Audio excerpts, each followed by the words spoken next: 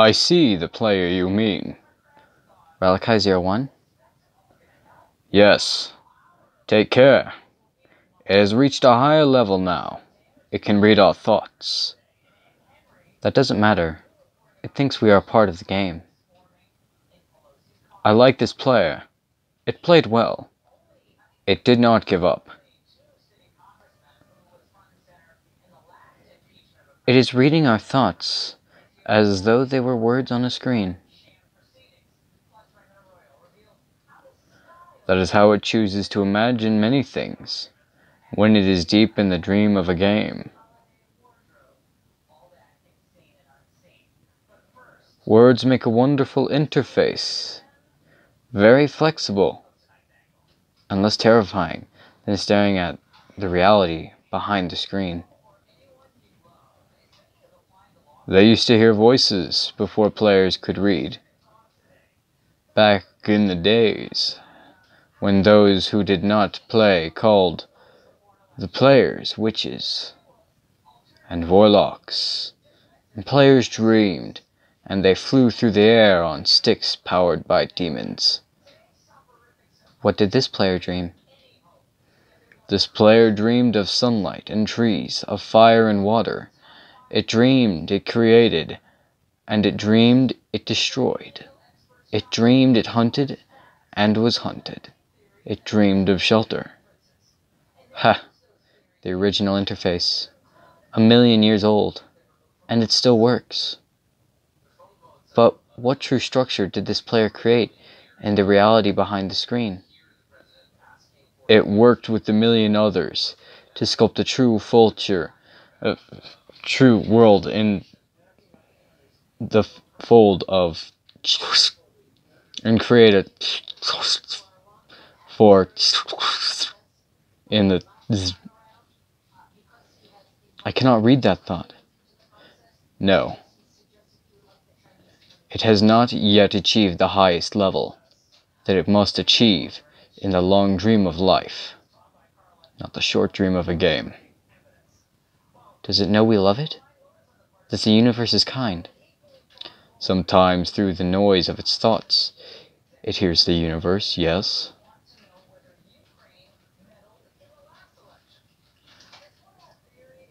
But there are times when it is sad in the long dream. It creates worlds that have no summer. It shivers under a black sun, and it takes its sad creation for reality. To cure it of sorrow would destroy it. The sorrow is part of its own private task. We cannot interfere. Sometimes when they are deep in dreams, I want to tell them they are building true worlds in reality.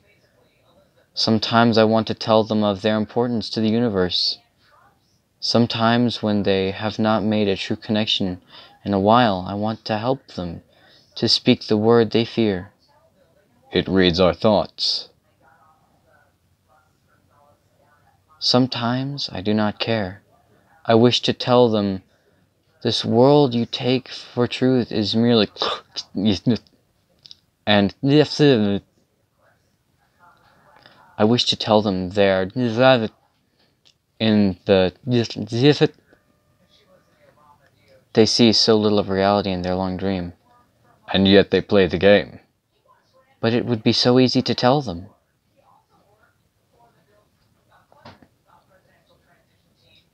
Too strong for this dream.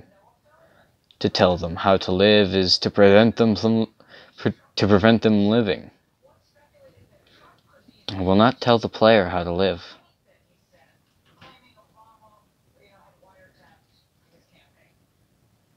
The player is growing restless.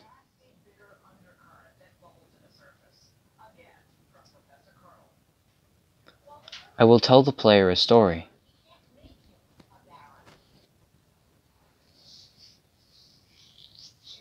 But not the truth.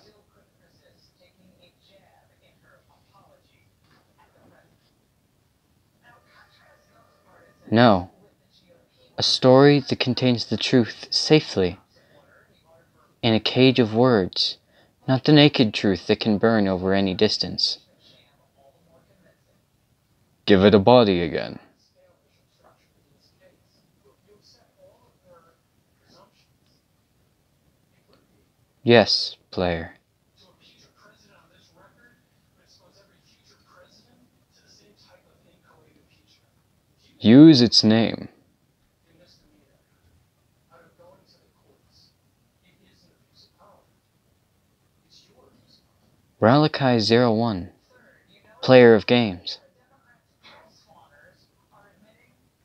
Good.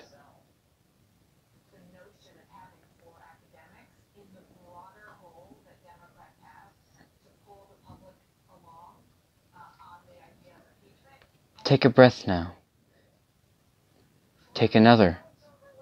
Feel air in your lungs. Let your limbs return. Yes, move your fingers. Have a body again. Under gravity. In air. Body touching the universe again at every point. As though you were separate things, as though we were separate things. Who are we? Once we were called the spirit of the mountain, father sun, mother moon, ancestral spirits, animal spirits, jinn, ghosts, the green man, then gods, demons, angels, poltergeists, aliens, extraterrestrials, leptons, quarks. The words change. We do not change. We are the universe. We are everything you think isn't you. You are looking at us now through your skin and your eyes. And why does the universe touch your skin and throw light on you? To see you, player. To know you and to be known. I shall tell you a story. Once a upon a time there was a player. The player was you, Ralakai. Zero one. Sometimes it thought itself human, on the thin crust of a spinning globe of molten rock. The ball was the ball of molten rock was circled by a ball of blazing gas that was 330,000 times more massive than it. They were so far apart that light took eight time eight minutes to cross the gap. The light was information from a star. It could burn your skin from 150 million kilometers away. Sometimes the player dreamed it was a miner on the surface of a world that was flat and infinite. The sun was a square of white. Then days were short. There was much to do, and death was a temporary inconvenience. Sometimes the player it dreamed it was lost in a story. Sometimes the player dreamed it was other things, in other places. Sometimes these dreams were disturbing. Sometimes very beautiful indeed. Sometimes the player woke from one dream into another, then woke from that into a third. Sometimes the player dreamed it watched words on a screen. Let's go back. The atoms of the player were scattered in the grass, in the rivers, in the air, in the ground. A woman gathered the atoms. She drank and ate and inhaled. And the woman assembled the player in her body. And the player awoke from the warm, dark world of its mother's body into the long dream. And the player was a new story never told before, written in the letters of DNA.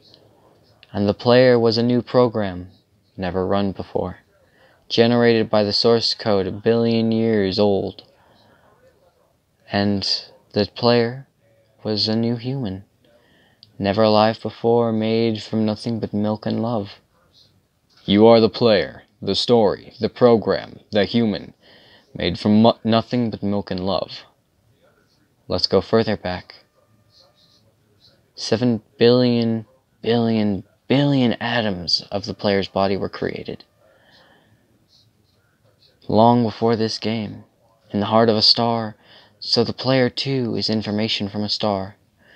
And the player moves through a story, which is a forest of information planted by a man called Julian on a flat, infinite world created by a man named Mar called Markus that exists inside a small private world created by the player who inhabits a universe created by Shush.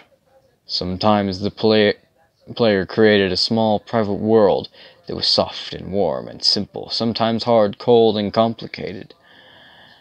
Sometimes it built a model of the universe in its head, flecks of energy moving through vast empty spaces.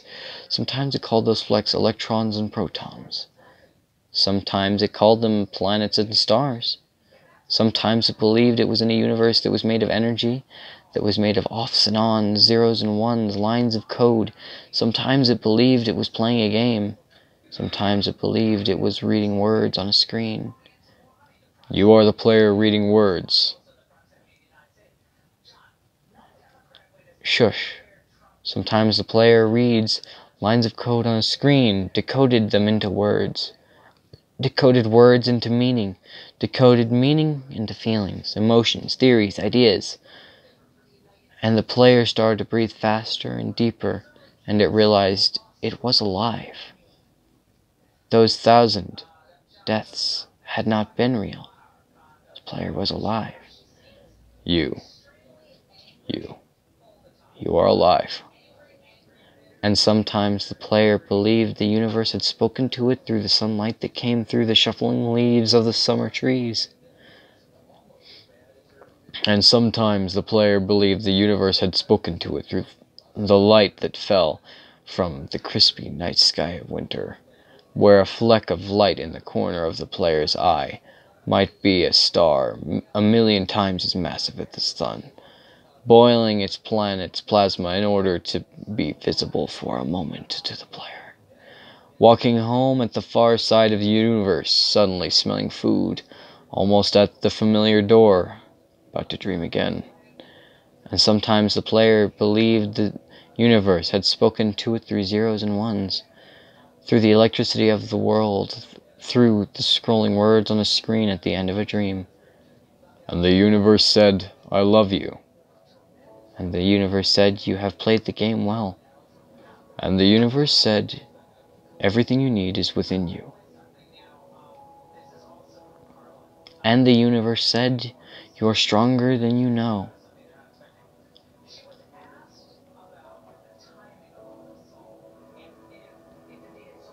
And the universe said, You are the daylight.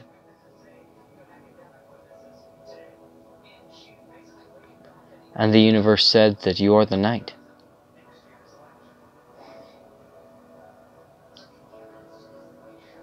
And the universe said, The darkness you fight is within you. And the universe said, The light you seek is within you.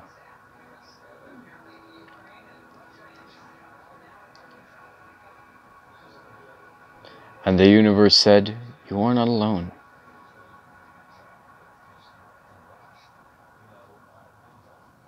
And the universe said, You are not separate from every other thing.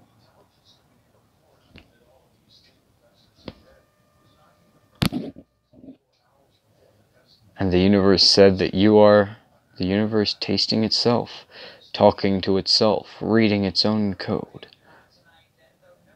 And the universe said, I love you because you are love.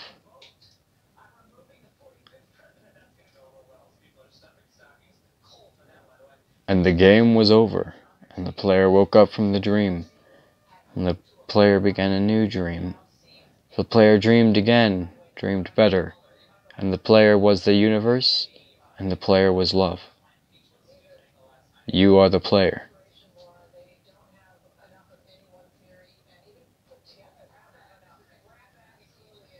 Wake up.